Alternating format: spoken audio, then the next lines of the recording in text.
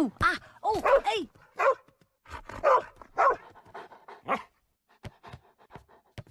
McCready isn't making a move as Rapinoe shoots. Boom.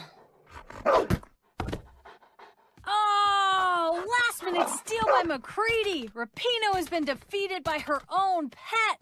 Unbelievable.